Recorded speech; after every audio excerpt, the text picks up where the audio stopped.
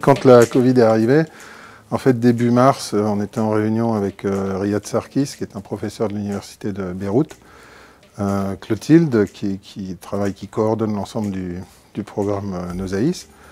Et on s'est dit, finalement, ça s'est jamais fait, quoi, de, de, regarder si des chiens étaient capables de dépister une maladie virale.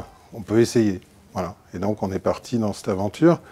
Je dis que c'est une aventure parce que, parce que de fait, c'en est vraiment une, au sens où on ne savait pas où on allait, on ne savait pas si ça marcherait.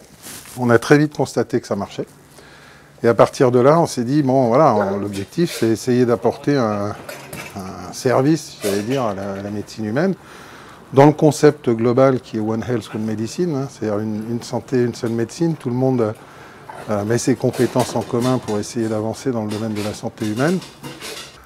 Et donc le CHU de Bordeaux s'est montré intéressé en disant finalement, euh, voilà, quoi, il faut changer, il euh, faut, exploser les paradigmes actuels de la médecine et voir si on ne peut pas passer de, machines très sophistiquées à, la chose la plus simple qui soit, c'est-à-dire le nez du chien.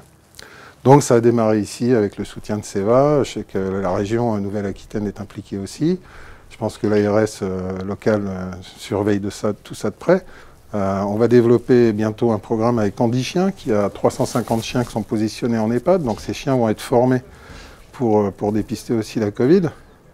Donc moi, ce que je souhaite, c'est qu'on puisse nous faire confiance sur la valeur de ce qu'on a fait nous et de ce qu'ont fait les autres pays, parce qu'on a des résultats quand même euh, qui nous viennent euh, euh, des Émirats arabes unis, du Liban, d'Argentine, du Chili, du Brésil, de, Finlande. ce qui est sûr, c'est que tester et isoler les positifs, ça reste la règle de base de prise en compte d'une épidémie ou d'une pandémie comme celle-là. Donc plus il y aura de moyens de tester, plus ces moyens seront simples, plus ils permettront de faire du testing de masse, mieux on se portera.